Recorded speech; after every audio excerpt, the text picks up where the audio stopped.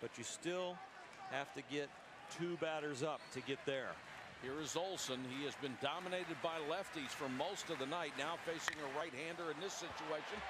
Line to right. Detwiler's got it. Cinderella wins a national championship.